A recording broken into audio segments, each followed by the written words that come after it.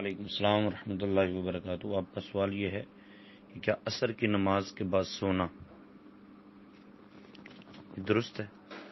تو کنز العمال کی حدیث نمبر اکتالیس ہزار تین سو باسٹھ میں نبی اکرم صلی اللہ علیہ وسلم کا ایک ارشاد گرمی حضرت عش صدیقہ رضی اللہ تعالی عنہا سے مروی ہے کہ جو عصر کی نماز کے بعد سوئے اور اس کی عقل چلی جائے تو وہ اپنے آپ کو ملامت کرے۔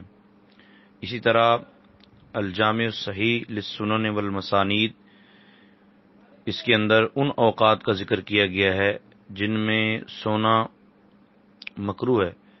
تو رسول اکرم صلی اللہ علیہ و وسلم کے فرامین کی روشنی میں حضرت خوات بن جبیر انصاری رضی اللہ تعالیٰ بیان کرتے ہیں کہ دن کے اول میں سونا بھی بے وقوفی ہے اور آخر میں سونا بھی بے وقوفی ہے یعنی فجر کے بعد اور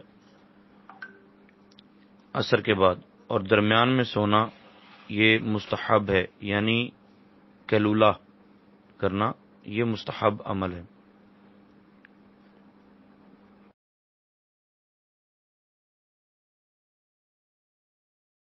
دو کڑیاں رک جا تقدیر دو کڑیاں رک جا تقدیر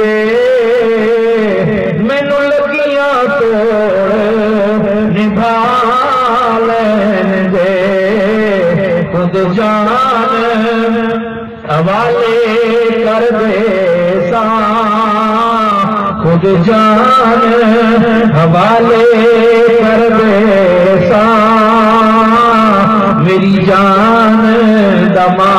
মালিকের